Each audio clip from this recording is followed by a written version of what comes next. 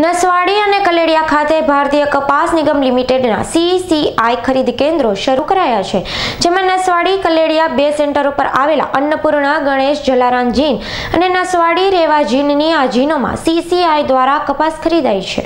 નસવાડી અને કલેડિયા ખાતે ભારતીય કપાસ નિગમ લિમિટેડના સીસીઆઈ ખરીદ કેન્દ્રો શરૂ કરાયા છે, જેમાં નસવાડી, કલેડિયા બે સેન્ટરો પર આવેલ અન્નપૂર્ણા, ગણેશ, જલારામ જીન અને નસવાડીની રેવા જીન આ જીનોમાં સીસીઆઈ દ્વારા કપાસ ખરીદ કરાઈ છે.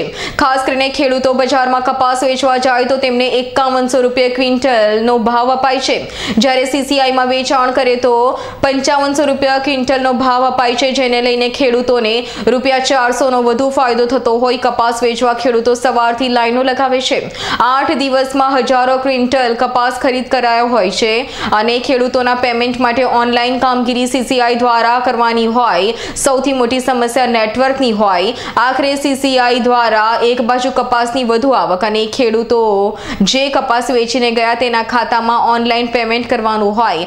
ચાર દિવસના એક હજારથી વધુ ખેડૂતોના બિલ પેન્ડિંગ હોય. સીસીઆઈ ખરીદ બંધ કરેલના નોટિસ બોર્ડ દરેક ચીન બહાર લગાવી દેવામાં આવ્યા છે. તારીખ ઓગણીસથી એકવીસ સુધી કપાસ ખરીદ બંધ કરી દેવાતા ખેડૂતો હોંશે હોંશે સીસીઆઈમાં કપાસ વેચવા માટે આવ્યા હતા. પરંતુ ખરીદ બંધની નોટિસ જોતા જ ખાનગી વેપારીઓ અને જીન માલિકો કપાસ એકાવનસો રૂપિયાના ભાવે લેતા હોય, ખેડૂતોને ના છૂટકે ઘરે પ્રસંગ હોય, વેચવા મજબૂર બન્યા છે. નસવાડીમાં ઓગણત્રીસ હજાર ક્વિન્ટલ અને કલેડિયામાં બેતાલીસ હજાર ક્વિન્ટલ કપાસ ખેડૂતોના ખરીદ કરાયો હોય, કપાસની આવક વધી ગઈ છે. આગળ શિવરાત્રીનો તહેવાર હોય, કપાસ વેચવા ખેડૂતો આવ્યા હોય, તેવો નોટિસ બોર્ડ જોઈ મૂંઝવણમાં મુકાયા હતા.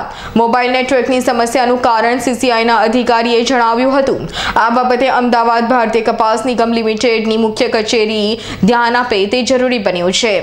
અલ્લારખા પઠાણનો રિપોર્ટ નસવાડી.